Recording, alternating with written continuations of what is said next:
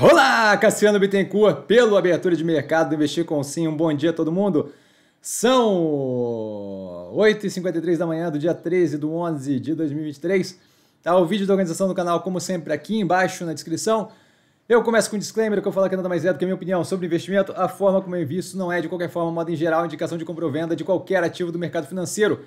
Isso dito, sim, eu sei, essa camiseta tá figurando bastante durante todo o final de semana nas análises, mas é que eu estou trabalhando basicamente de sunga.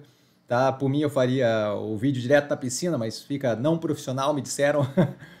é, então, de fato, assim, eventualmente quando eu tenho que gravar o vídeo eu boto a camiseta e ponto. Então acaba aqui. Eu vi, eu percebi agora que começou a repetir demais a camiseta.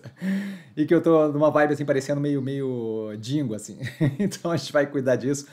Mas a princípio é só porque hum, simplesmente tô trabalhando sem camiseta direto. Tá, fechar, eu boto só para fazer o vídeo. Fechamento de sexta-feira positivo no portfólio, com exceção da Mobile, com queda de 33,51%, que faz zero sentido, análise já no canal. A Zemp, queda de 9,15%, que também vejo como exagero.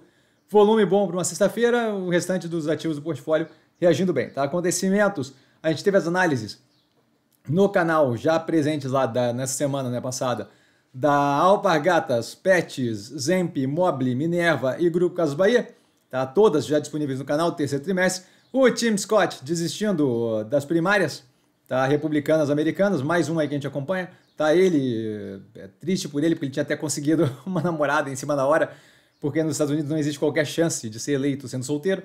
Tá? A Venezuela em um movimento para tentar se apropriar de território, 74% aproximadamente da Guiana, tá querendo aí um referendo sobre o assunto. Né? Não vejo muito chance desse tipo de coisa é, andar numa direção é, de de fato ser efetivada, mas algo para acompanhar aí. Americanas deve apresentar resultado do segundo do ano de 2022 no dia de hoje, tá? Foi bem atrasado aí por causa da fraude toda. Preço da gasolina caindo há 11 semanas consecutivas. Gol e Latam, as empresas de aviação, é, investigadas por combinação de preço de passagem o Pix, novamente com recorde no número de transações, 175 milhões de transações. Tá? A Taurus recebendo aval para fabricar é, arma na Índia. Tá? A previsão do começo da operação em janeiro. Tá? A Qualicorp demitindo 25% dos funcionários e fechando lojas. Tá? O que me leva a colocar a operação na fila de análise. Isso porque a gente tem uma mudança ali, tá? que parece ser uma adaptação é, interessante a novos moldes, certo? Com uso de inteligência artificial, redução da necessidade de tanto funcionário efetivamente podendo fazer grande parte das coisas no modo mais startup, tá? com mais auxílio tecnológico, tem propriamente pessoas fazendo corretagem, isso daqui pode ser uma operação efetivamente evoluindo numa direção interessante. É, pode inclusive provar a questão, mostrar a questão que eu falo consistentemente com relação a corretoras em geral. Tá? Nesse caso aqui, com um caso de sucesso que pode ser o que está acontecendo. Eu vou dar uma olhada na análise assim que possível depois dos ativos do portfólio, tá? que todos são sempre analisados e todos têm preferência. Então, depois disso, a gente deve ter, a Qualicorp está aqui anotada como uma das operações aí para avaliar. Tá? A gente tem a Cogna com emissão de debêntures de 500 milhões de reais, podendo atingir 625 milhões, dependendo da demanda. Tá atrelado a CRI, nada que chame atenção, comentado em short na sexta-feira ainda.